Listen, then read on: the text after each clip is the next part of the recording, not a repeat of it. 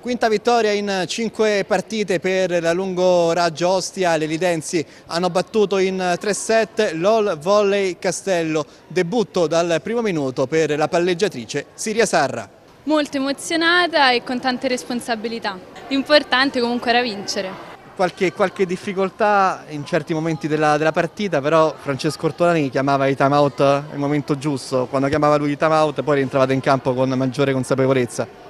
Sì, assolutamente. Secondo me la cosa che ci ha contraddistinto è che siamo state molto unite in questa partita, almeno quello che ho percepito io. Purtroppo non, non riuscirai a terminare la stagione qui perché ti stai avviando alla, alla carriera militare. Hai superato dei quiz, com'è andata?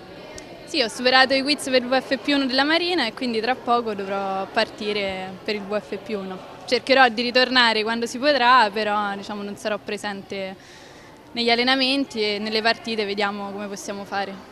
Eh, magari tornare per festeggiare un qualcosa di importante sarebbe bello. Quello sicuramente, speriamo. Un grande avvio della squadra, 5 partite e 5 vittorie. Come l'hai costruita questa squadra che sta rendendo così bene? La squadra è buona, molto buona e mm, devo dire che la seguo anche negli allenamenti e mm, dimostrano molta concentrazione, molta attenzione in quello che stanno facendo per cercare di migliorare sempre di più le nostre qualità di gioco, quindi secondo me possiamo fare molto bene.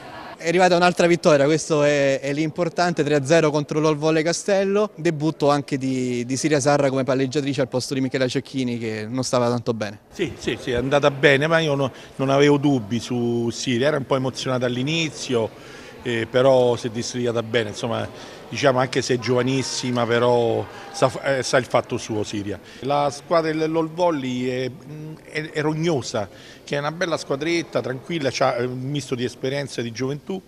E infatti i primi due set 25-20, 25-20 lo denota, poi il terzo set, poi siamo saliti in cattedra da noi, loro sono un po' calati e mi sembra che è finita a 9 insomma voglio dire, però ecco un altri tre punti da mettere nei, nei, in cascina. Il calendario prevede subito un bis di questa sfida, sabato prossimo le due squadre si affronteranno nuovamente a Roma. Da Ostia per Canale 10, Valerio Nasetti.